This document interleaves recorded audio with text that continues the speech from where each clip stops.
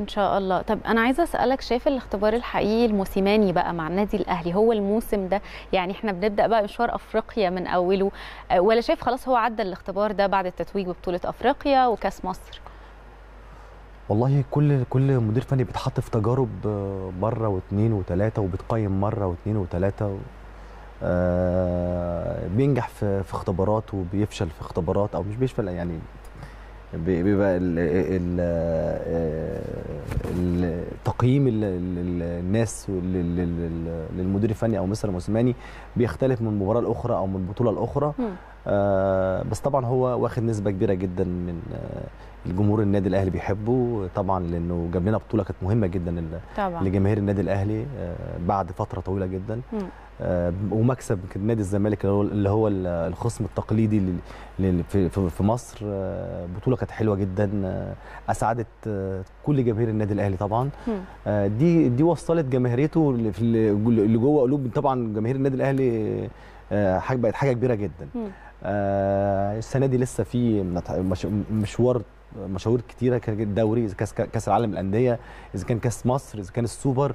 آه، حاجات آه، كتيرة هيتحط فيها أتمنى إن شاء الله يقدر يجيب أكتر عدد من البطولات للنادي الأهلي الفترة الجاية و وبرضه مش هقول إن التوفيق بنتمنى له التوفيق طبعا لأن التوفيق ده عامل مهم, مهم جدا وأنا جداً. شايف إن هو من يعني سبحان الله يعني الله أكبر يعني مش عايز أحسده هو عنده الله. نسبة كبيرة جدا من التوفيق من ساعة ما مسك الفرقة جاله بعض البطولات آه، يعني الحمد لله ربنا وفقه فيها برضو مش مش هنكر دور مجلس الإدارة اللي عامل آه، أكيد. فرقة بصراحة محترمة. بشكر كابتن خطيب آه، مجلس إدارة آه، أستاذ عمرو فاروق. آه، الناس بصراحة مجلس ما ما ما سابوش حاجة في الفرقة لما اتعملت. عاملين فرقة محترمة آه، بتقدر تحافظ على البطولة السنة دي كمان وناخد البطولة العاشرة.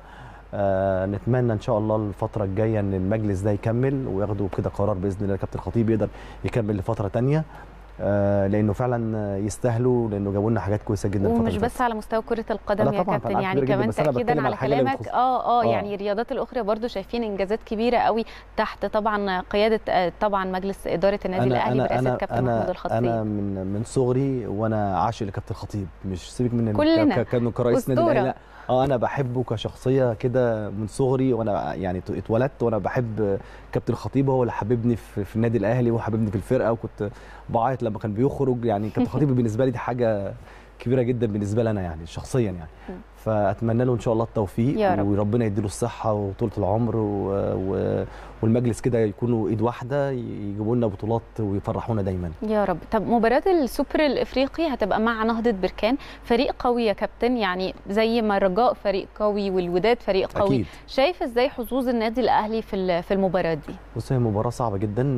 فرقة نادي بركان موسمين ورا بعض بيوصلوا لنهائي البطولة آه، خدوا البطولة الموسم اللي فات. بس أنا كنت شايف إن هو مباراة بيراميدز دي كان هم يعني بيراميدز كان الأفضل بس هم قدروا عندهم الخبرة الأكتر من بيراميدز إن هم يحسموا البطولة. وده اللي حصل فعلا.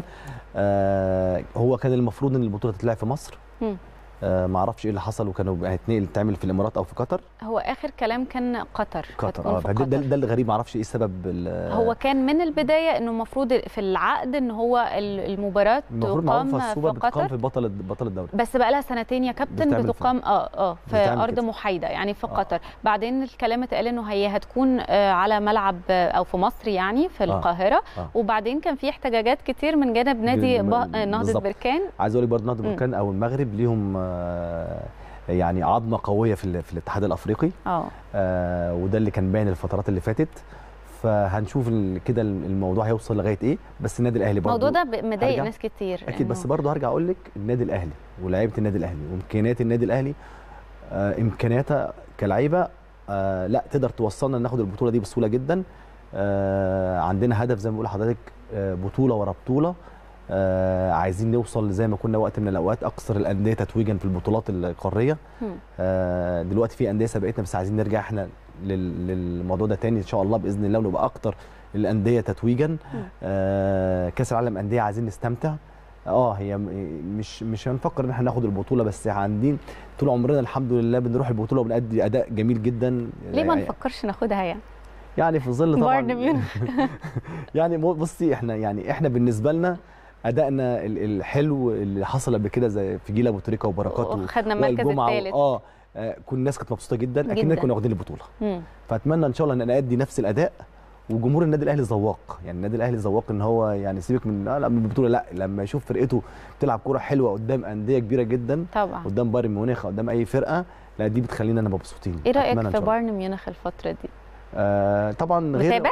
طب آه بس هو مش طبعا مش مش زي مش, مف... مش, مش نتائجه مش مف... مش زي مفنش آه. بطولة أوروبا و... وفوزه على برشلونة سبعة وكان كانت بيمسك آه تمانية. آه, آه 8 8 8 اتنين. دي وجعتني قوي يا كابتن أنا برضه بشجع برشلونة آه زيك 8 زعلتني 2 آه بس آه، يعني آه، آه، أتمنى إن شاء الله إحنا لعبنا بايرن ميونخ ماتش ودي افتكريه لما. كان بركات آه، جاب هدف خسرنا 2-1 متهيألي ادينا مباراة جيدة جدا في آخر دقيقة جابوا آه، فينا جون آه، في آخر دقيقة أتمنى إن شاء الله بإذن الله نأدي مباراة كويسة في البطولة دي و... وإن شاء الله بإذن الله بإذن الله آه ناخد مركز كويس آه مع بطولة السوبر مم. مع الدوري السنة دي يا رب. مع كأس مصر فاكر ساعتها كابتن مستر جوزيه قال إيه قال الفرق كلها بتلعب والألمان بيكسبوا.